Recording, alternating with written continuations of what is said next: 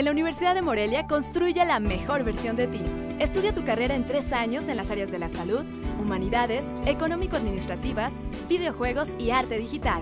udemorelia.edu.mx, teléfono 317-7771.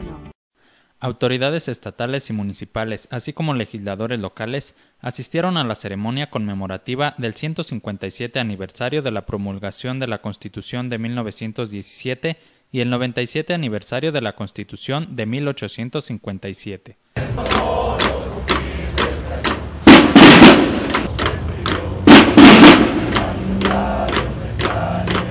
En la Plaza Melchor Ocampo se realizó el izamiento de la bandera nacional y posteriormente un acto cívico celebrado en la Plaza Valladolid en la capital michoacana.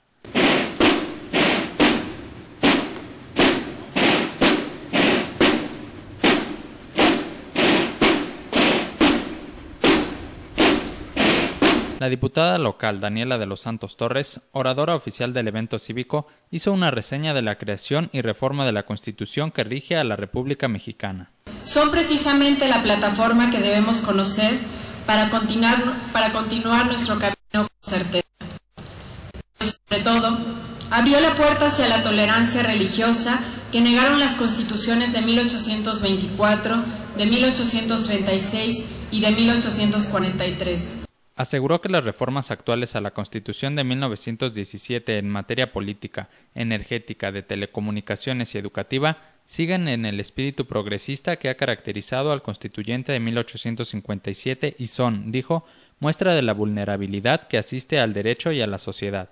La Constitución de 1857 es una de las mejores que ha tenido nuestro país. Sin embargo, a partir de su nacimiento tuvo una existencia incierta provocada por el plan de Tacubaya en su contra, por la guerra de reforma, por la intervención francesa, así como por los intentos presidenciales de Benito Juárez para hacer prevalecer el orden constitucional y por el gobierno de Porfirio Díaz. No obstante, Daniela de los Santos sentenció que ni las constituciones, leyes y reformas bastan para alcanzar el bienestar social. La realidad nos exige acciones públicas que posibiliten el bienestar social. A la ceremonia oficial asistieron el secretario de Gobierno Jesús Reina García, el presidente del Supremo Tribunal de Justicia del Estado, Juan Antonio Magaña, así como representantes de la 21 Zona Militar, la Universidad Michoacana de San Nicolás de Hidalgo y la Secretaría de Educación en la entidad. Con información de Felipe Bárcenas Informa, Cuasar TV.